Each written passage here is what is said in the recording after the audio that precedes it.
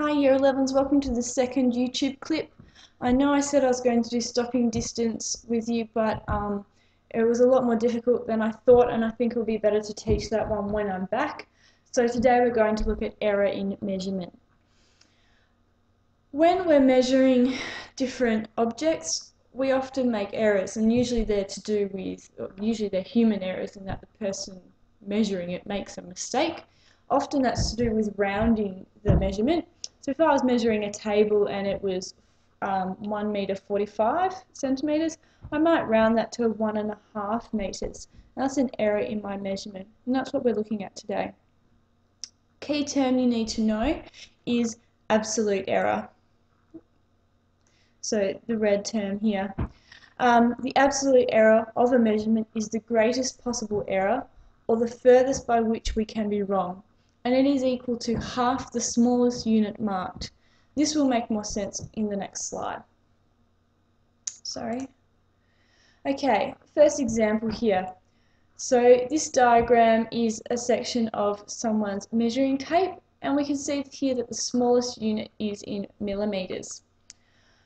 What is the smallest unit marked? So we've got centimetres marked here, but in between that we have our millimetres. So our smallest unit marked millimeters. Okay, how would you record measurements A and B and why?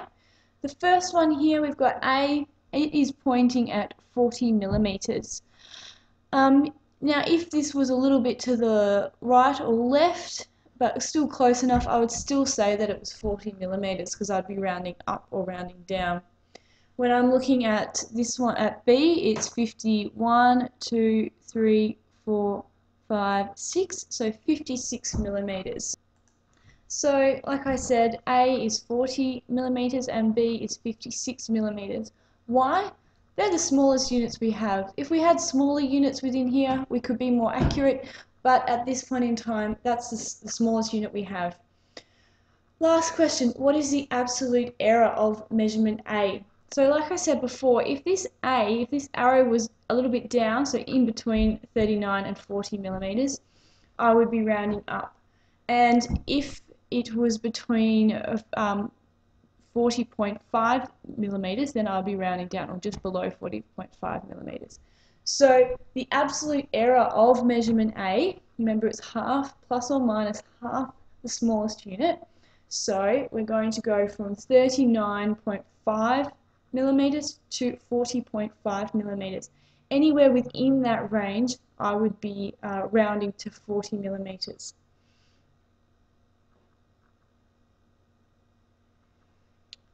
Okay, on to the next slide. What I want you to do here is I actually want you to have a go at these questions first.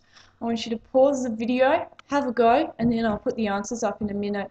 Just to remind you, you're looking at the smallest unit. So in this first one here, we can see it's 40 centimeters. So the smallest unit is one centimeter. Then, so the absolute error is plus or minus half a centimeter because it's half the smallest unit. This was our measurement. So it's either 39.5 or 40.5 centimeters. So what I had to do to that 40 was I had to subtract 0.5 and I had to add 0.5. So I want you to have a go with three, these uh, four. Be careful, this one here says to the nearest kilogram, whereas this one here is to the nearest 10 kilograms. So the smallest unit given in this one is 10 kilograms, so the absolute error will be 5 kilograms. So pause it now, have a go, and I will show you the solutions in a minute. Okay, you should have had a go now. Uh, here's the solutions.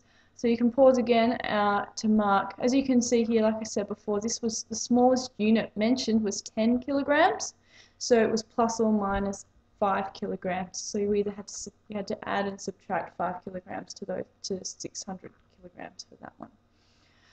Okay, let's have a look at our next slide. This is a year 12 topic, but it is relevant um, to year 11, and it is good to see now. It's one that a lot of people struggle with and that's percentage error. Obviously when you're measuring, if you're measuring a really small, or if you're measuring in a small amount of units, if I'm measuring in millimeters, my mistake isn't going to be too significant. But if I was measuring in meters and I made an error in my measurement, that would be quite a significant error. So percentage error allows us to compare different errors in measurement. So percentage error, uh, here's the formula, is the absolute error, so um, plus or minus half the measurement, divided by the measurement itself, times by 100. Let's have a quick look at the steps. So when you're when you're given a measurement and you're asked for the percentage error, first thing you need to do is state the smallest unit on your in your measurement. Then find the absolute error. Once you've done that, you can now substitute in the absolute error and your measurement into the formula and calculate to solve. Let's have a look at an example. So the measured length of Sydney Harbour Bridge is 503 metres and the nearest length of a basketball court is 26 metres. Again, if I measured this one wrong by half a metre, that's it's not a big error because I'm looking at 500 metres. But here on a basketball court, half a metre is quite significant because it's a lot smaller.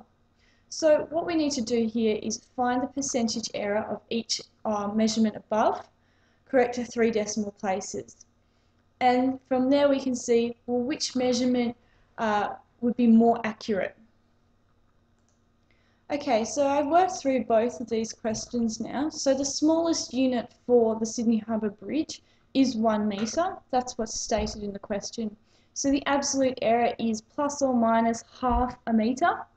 So using our formula from before, we put 0.5 over 503 times 100. If you plug that into your calculator, you get 0.9940%. Rounding that to three decimal places, which is what the question has asked us to do, we get 0.994%. Um, if I'm looking at the basketball court, the smallest unit again is uh, meters. So the absolute error is plus or minus half a metre.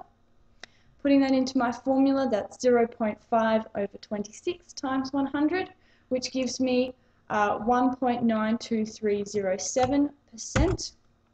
And rounding that to three decimal places, 1.923%. Now, we can see that even though we have the same smallest unit, when we're measuring here, we'd only make just under 1% error, whereas here we're making nearly a 2% error.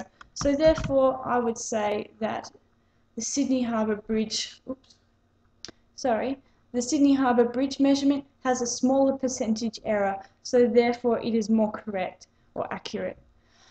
When you're writing these, make sure that you write complete sentences, and this is the answer that I'd be expecting for question B. That concludes today's lesson. In class on Wednesday, you should be doing exercise 602, questions 1, 2, 3, 5, and 7. There will be rewards for those who complete all the set work for this week, and there will be detentions for those who don't. So spread the word if you know some people aren't watching these videos. I hope you have a good day tomorrow. Um, if you have any questions, you're welcome to email me. My email is afehlberg at kws.nsw.edu.au. I am checking regularly, so you're welcome to contact me that way. See ya!